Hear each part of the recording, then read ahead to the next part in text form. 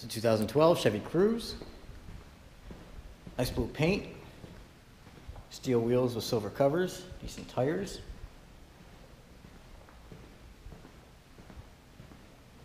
Walk around the back here. Oh, keys are in the ignition. Won't let you, won't let you un, open up the trunk without the keys. Or the keys in the ignition, I should say. Nice large trunk. Plenty of space for cargo. There's those steel wheels with silver covers. Interior's in good shape. Nice titanium and black interior. Up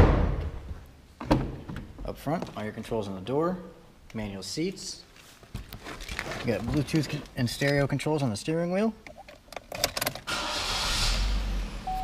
Car fire's right up. Nice display, stereo controls, climate control, door lock and unlock buttons. It is OnStar capable.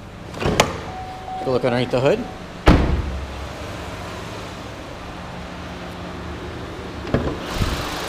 And there's your 1.8 liter. The non-turbo, still great on gas, and plenty of power.